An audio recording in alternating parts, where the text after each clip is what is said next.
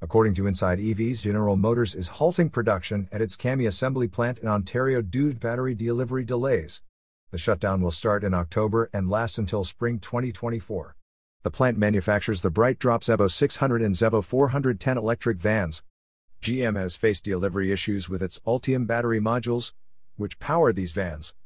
The company plans to resolve these issues by launching a new battery module line in the plant by spring 2024.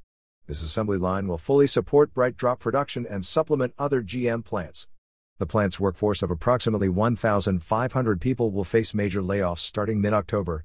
You are listening to UON News.